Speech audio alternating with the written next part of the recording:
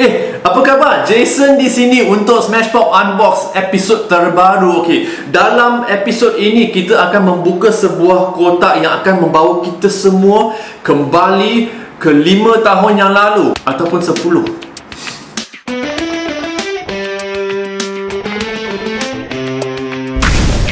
Tak ingat tak beberapa tahun yang lalu kita semua ada smartphone Nokia dalam poket kita orang. Ingat tak masa kita ada Lumia Lumia Lumia 910, Lumia 920, uh, apa lagi ya? Uh, zaman kegemilangan N95, N97, uh, semualah okey. Sekarang kita akan membuka kotak smartphone Nokia yang terbaru yang baru saja dilancarkan semalam Nokia 8 ataupun Nokia 8 baru saja dilancarkan sudah ada di tangan saya ah hebat tak cakap lah cakap eh hebat komen di bawah kata eh smash pop you hebat lah Okey jangan jangan jangan. Okey okey kat depan ni adalah gambar Nokia 8 okey kita tengok kat belakang ni pula ada pula ciri-ciri terpenting Nokia ini. Biar saya bacakan. Ah you tak payah baca I bacakan. Ah Qualcomm Snapdragon 835 Snapdragon chipset ni adalah pemproses yang paling canggih pada masa sekarang tahun 2017 5.3 inci screen dia okey? Resolution dia 2K okey?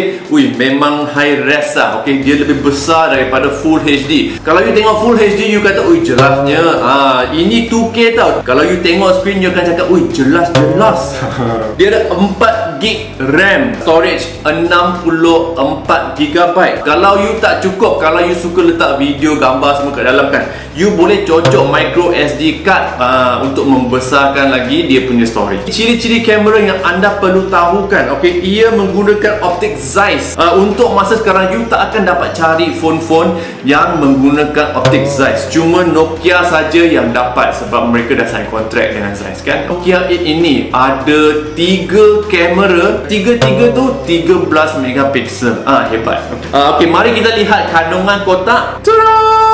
Ini dia Nokia 8 Okey. Ini yang pertama sekali kita lihat Ada pin untuk apa? Uh, SIM card tray. Ada buku manual. Buku manual biasanya apa? Biasanya kita tak nak baca. Okey kita letak kat sebelah ni. Earphone okey. Ah kalau ada earphone bermaksud Nokia 8 ni ada headphone jack. Mana dia? Mana dia? Ah ini dia dalam kotak ni ikut taknya Cuba teka dalam apa? I bagi you 5 saat. 1, 2, 3, 4, 5 ha, Okay tak payah teka pun Sebab kalau you ada phone You kena ada benda ni. Benda ni Adapter dengan USB cable. Ha, Okay Sekarang kita tengok Nokia 8 pula. Okay kita tengok kat depan ni Ada screen 5.3 inci. Lepas tu kat bawah ni Ada dia punya home button. Ha, Lepas tu kat depan ni Ada speakerphone Ada lagi dia punya selfie camera 13 megapiksel. Sebelah kanan ni kita ada butang volume, okey. Uh, volume atas bawah atas bawah. Ini pula dia punya power button. You tekan butang ni off. Uh, kita tengok kat sebelah ni tak ada apa-apa licin macam hmm, licin macam apa? Hmm. Letak dalam komen. okey, kat belakang pula tengok ada dia punya apa dua kamera, dual kamera lah. Okey, dalam bahasa Melayu Dui kamera Okey Dia punya flash kat sini Dia punya laser autofocus. Ah, Benda ni dia fokus guna laser tau. Oh, Cepat dan padat Eh.